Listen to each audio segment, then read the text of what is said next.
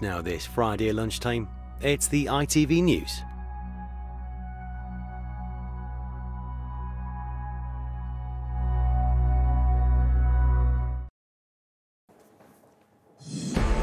Labour make gains, but the local elections aren't as damaging for the government as some Tories feared. There are key wins in London as Westminster, Wandsworth, and Barnet are all taken by Labour. This is a massive turning point for the Labour Party. From the depths of 2019, we're back on track now for the general election. With many councils still counting their votes, it's bad. But just how bad for Boris Johnson?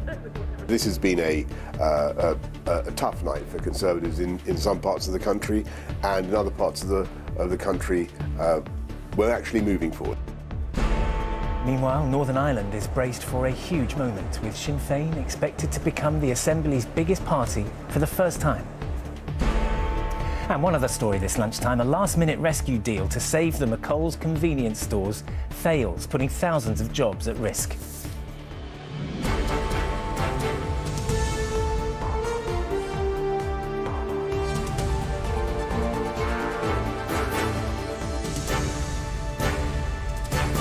This is the ITV Lunchtime News with Geraint Vincent.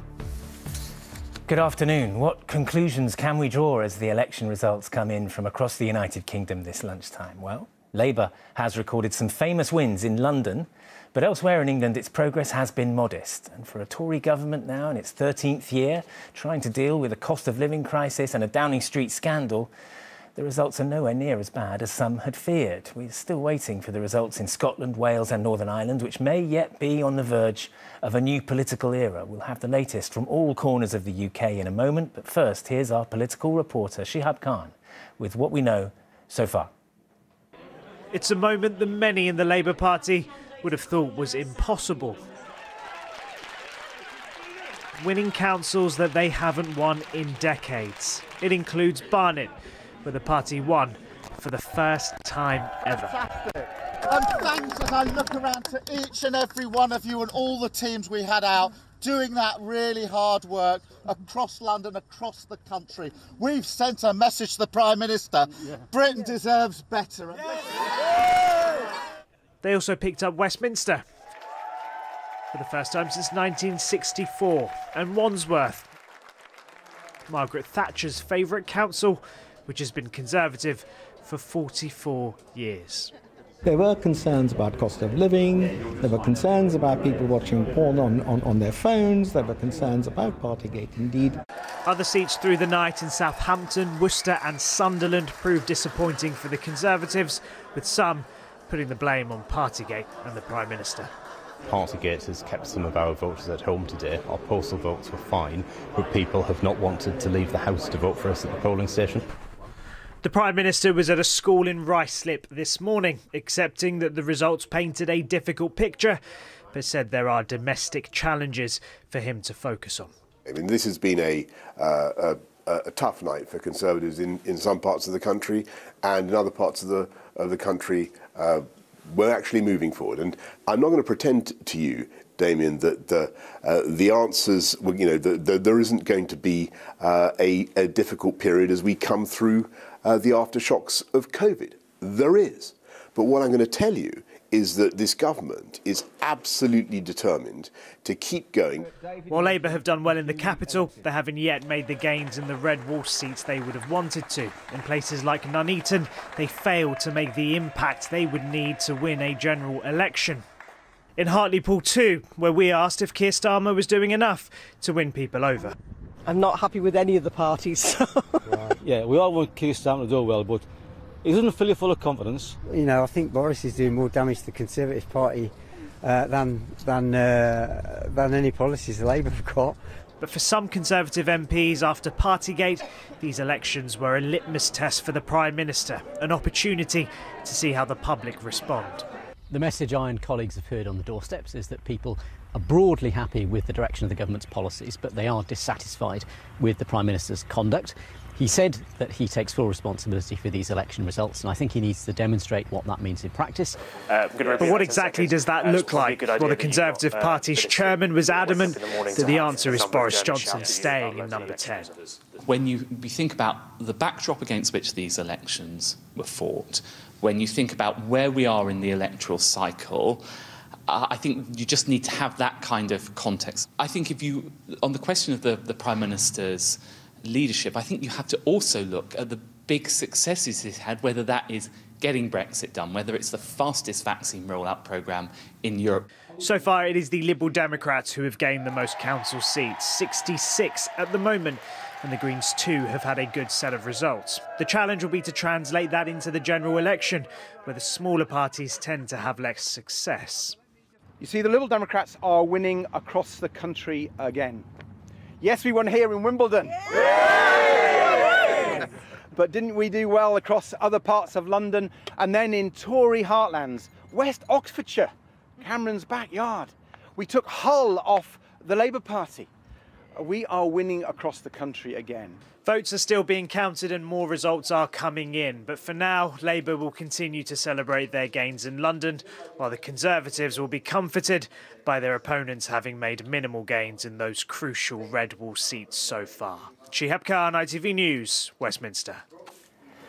So that is the picture so far, but there are still millions of votes to be counted, with results expected throughout this afternoon and into tomorrow. Well, let's find out what's still to come, because the picture is very different in different parts of the UK. We've got correspondents in all four nations this lunchtime, starting with our deputy political editor, Anushka Asthana, with the picture in England. Anushka, what are you expecting this afternoon? Well, one of the things that you've always got to remember in local elections is that the last results wise over a couple of days. Labour last year made the mistake of losing control of the narrative early on, and they are not doing this this time. Of course, they've had the positive results in London, but so far in the Red Wall, a mixed picture and some important councils coming this afternoon Bury, Hyndburn, and Wakefield. Remember where they've got a by election coming up. We're going to have to look very closely at them to look at what the picture looks like. And then in southern England as well, what is often known as the blue wall, areas where Tories are dug in. Most of their MPs are down south, and they're going to be looking at that very, very closely. We've got Worthing coming in, which could go to Labour control. But one I really think is worth watching out for is Somerset Council. It's a big new council. It was Conservative control, but the Lib Dems very hopeful that they could take control of it. That would worry a lot of Conservative MPs. OK, thanks, Anushka. Louise Scott is at a count in Glasgow. Louise, Labour have made gains in London. Are they making any progress in Scotland? They're making gains already up nine tell me they're happy with how things are going so far. Not sure whether they will be able to oust SNP, who took over Glasgow here in 2017. But the council leader, Susan Aitken, she retained her ward seat. Interestingly, however, she came second behind the Greens. She says it's too early to know whether her position as leader is safe as of Scotland's largest local authority. Conservatives not having a good day in Scotland. They are already down 20 seats. The counting went underway here in Glasgow around 9am this morning. We're expecting it to come to conclusion around 5pm. And in Scotland, it's a single transferable voting system where voters rank candidates. And so no council generally has overall control, forcing parties into a coalition. So discussions likely in the coming days, which parties that's between, we should know later this evening. Thank you, Louise. Uh, Wales reporter Rhys Williams is in Cardiff. Rhys, they've been counting all morning. What are the early signs? Yes, Geraint, counting only started this morning, but there are early indications. The Conservatives have a majority in only one of Wales's 22 councils, and that's Monmouthshire. Labour say it could be close, but a Tory source tells me they're confident they'll hold on. The leader of that council has been openly critical of Boris Johnson for what it's worth. That Tory source, though, is less confident elsewhere in Wales, including in the north northeast of Wales, uh, that classic red wall area. The three constituencies that make up Denbighshire Council, for example, all fell to the Conservatives in the 2019 general election. But Labour say it's seeing early encouraging results there, and a Tory source agrees with that assessment. Plaid Cymru are hoping to make, uh, say they think they will make gains in their Gwynedd uh, council majority but there's no obvious signs of any major breakthrough elsewhere. And I haven't mentioned the independents yet, Geraint, which are very significant here in Wales, as they're in control in some form or another of nearly 50% of Wales's councils, which makes this election so uh, tricky to analyse on a UK-wide or even a Wales-wide level. OK, Rhys, many thanks. Voting in Northern Ireland has been underway since 9 a.m. Sinn Féin has been forecast to become the biggest party there. Peter Smith is at the count where their leader is standing. Peter, they might be on the brink of momentous change where you are seismic change, Geraint. And Michelle O'Neill, the leader of Sinn Féin, has just arrived. She's expected to win, and she's expected to be seeing her party win in Northern Ireland for the first time in this country's history. Now, this is a party that is ostensibly an Irish Republican, Irish nationalist party that stands for Northern Ireland being separate from the United Kingdom and creating a united Ireland. So the fact that they're in position to take you know the biggest share of the vote in Northern Ireland and for Michelle O'Neill to be First Minister is a huge moment and tells you about the trajectory of politics in this country and also about the decline of unionism here. And this election will be marked as much by the, the, the success of Sinn Féin as the complete decimation of the vote from the DUP. They're being punished because of the results of Brexit. DUP, you'll remember, propped up Theresa May's government. They were rewarded by Boris Johnson with a protocol that ultimately leaves Northern Ireland cut off from the rest of the UK, totally anathema anathema to their supporters. So while the headlines will be about Sinn Féin's success, DUP are saying they will not go into government, and this could be the start of Northern Ireland's next political crisis. All right, Peter, thanks. Well, we're going to go back now to Anushka, who's got some breaking news because Durham police have just confirmed they are to investigate Labour leader Sir Keir Starmer over allegations that he broke lockdown rules in April last year by drinking beer with colleagues. Anushka, that gives today a slightly different mood, doesn't it? Yeah, bad news for Labour. They have always denied doing anything wrong here, and they are continuing to deny it today. But Durham Police, who previously said there's nothing to investigate here, and now telling us that they have significant new information. This was a constituency event. Keir Starmer was at the City of Durham MP's office. They were doing an online event to try and get support, and they stopped to eat. And you'll remember that picture of him through the window drinking beer. Um, the Conservatives have pushed very hard on this, particularly a local MP, Richard Holden. And I think that's because they see this as equivalent to when Boris Johnson and Rishi Sunak stopped between work meetings to celebrate Boris Johnson's birthday. They ate cake famously. And that event led to a police fine for the Prime Minister, for the Chancellor. Keir Starmer said they should resign over that. Now he's facing his own investigation. Thank you.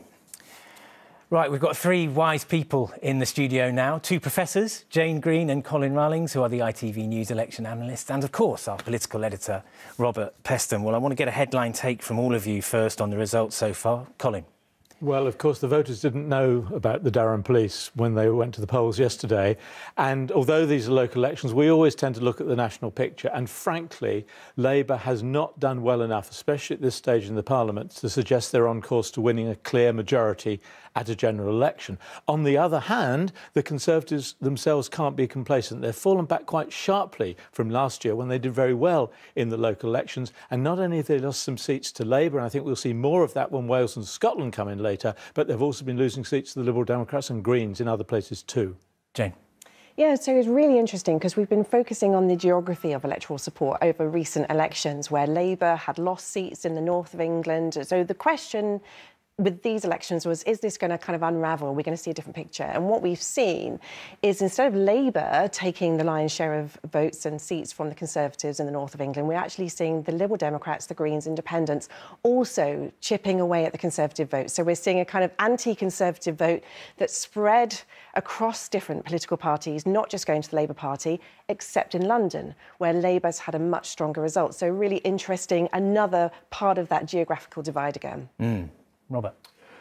So, this is a weird set of elections where it seems to me both leaders of the main parties can both take some comfort but also be slightly anxious. And what do I mean by that? Uh, you know, plainly for Labour, uh, taking symbolically important seats in London, you know, Westminster, uh, Barnet, uh, and Wandsworth, hugely significant. And as uh, Jane has just said, reinforcing Labour's extraordinary stronghold on sort of university graduate voters, younger voters, particularly in the south of England, but not making the progress, as Colin says, that they need to make in the north to be confident of winning the next election. But for, but for Boris Johnson, facing, some would say, the worst conditions for any government to fight any kind of election, a cost of living crisis where he's accused of not doing uh, enough on the one hand, all these uh, charges that he broke his own lockdown rules day after day after day,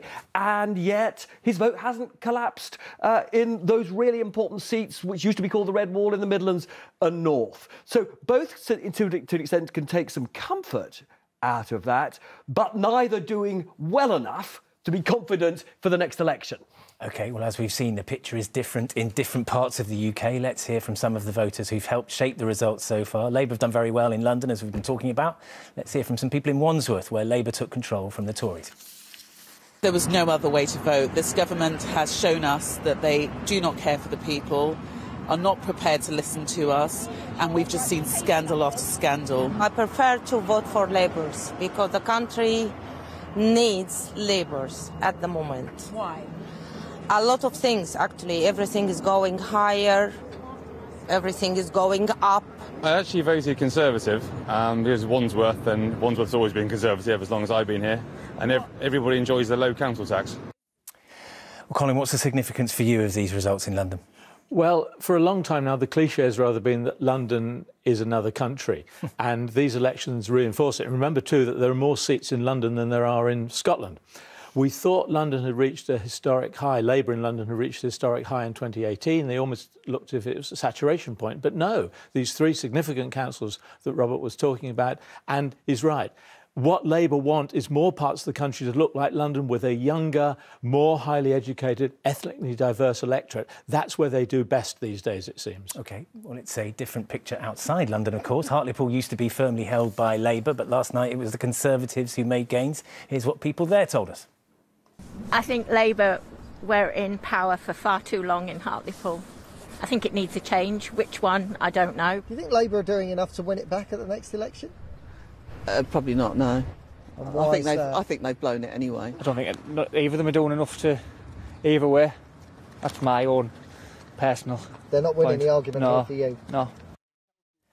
Jane, what are we learning about the famous Red Wall then? Yeah, so the Red Wall is famous because it was Labour heartlands, places in the country that we thought, you know, many thought would never ever fall to the Conservatives. But also, these were parts of the country where the Leave vote was particularly high.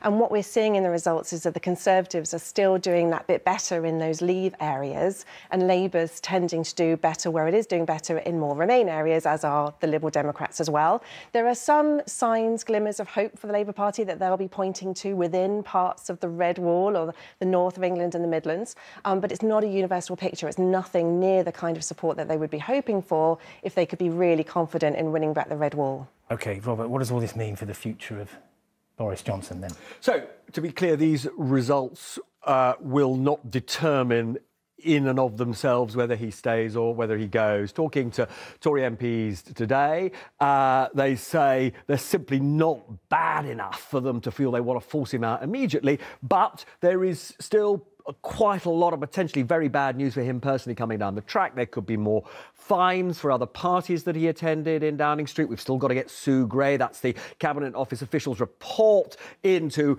uh, all those breaches of COVID rules. That's yet to be published. It's going to be at the very best for him, very embarrassing for him. And then we've got this parliamentary inquiry into whether he lied to Parliament. Uh, so I have to say, there are many Tory MPs who say to me they still don't think he's going to lead them into the next election, but the crisis is deferred for him, uh, you know, rather than tomorrow, as it were. And just a quick word yeah. on what Labour have got to do if they're going to win the next. So I do, I do think that for Keir Starmer, this is a both a good and a bad day. And we haven't talked about Barnet. He made it a personal project to root anti-Semitism out of the Labour Party, and there's a big Jewish community in Barnet. He won Barnet, and I think to an extent he's put the taint of anti-Semitism um, in the Labour Party behind him. But the fact that the police are now investigating, uh, you know, his beer and curry in Durham is very embarrassing for him. He did call on the Chancellor, Rishi Sunak, to resign when Rishi Sunak simply stumbled into that birthday party. He, you know, if he now gets fined, he will find it very difficult to explain why he's not resigning. Robert, Jane, and Colin, many thanks. In other news this lunchtime, the newsagent chain McColl's has gone bust, putting 16,000 jobs at risk. The Morrison's supermarket chain has tabled a last minute rescue deal, but it appears to have come too late. Neil Connery is outside a store in Brentwood in Essex. Neil, what chance is there that McColl's might be saved now? Well, this news breaking in the last half hour. They had warned last night that they could go into administration unless they could find future sources of funding. Uh, the companies, you say, 1,100 stores in the UK employing something like 16,000 people. So they will be concerned this lunchtime what it means for them and their jobs. Morrison's had proposed this last minute rescue deal. The chain already has a partnership with McColl's, which operates more than 200 convenience stores.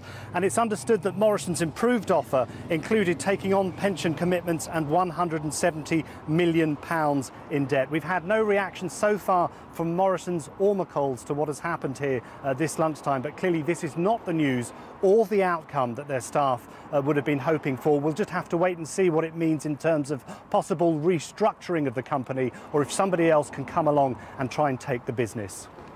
OK, Neil, many thanks. House prices have hit a new high, with the average cost rising by more than £3,000 last month. It's the 10th month in a row that prices have risen, but Halifax warns that the growth is expected to slow down, with interest rates rising and inflation squeezing household budgets. The TV chef Dave Myers, best known as one half of the Hairy Bikers, has re revealed he's having chemotherapy. The 64 year old from Lancashire told listeners to his podcast that this year will be a bit of a write off for the pair, but he is ready to crack on with his cancer treatment. And parts of the country are expected to be hotter than Mallorca today. The Met Office says that high temperatures should last for several days, well above average for this time of year. And that is all from us so far this lunchtime. But don't forget, you can get much more on the local elections on our website as results come in this afternoon. That is at itv.com/news. Charlene White will be here with the evening news at 6:30. But from everyone here, bye bye. Enjoy your afternoon.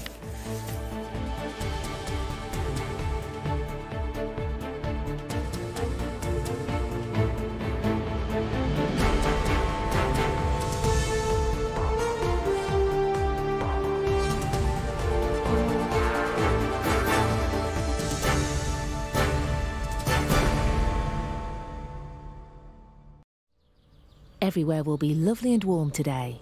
You might